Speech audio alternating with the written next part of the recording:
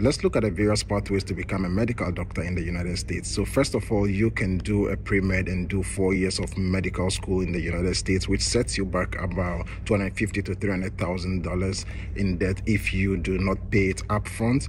The next pathway is you can do medical school in any country in the world and after which you can register for the medical license exam in the United States. Now, if you are successful, you can go into residency.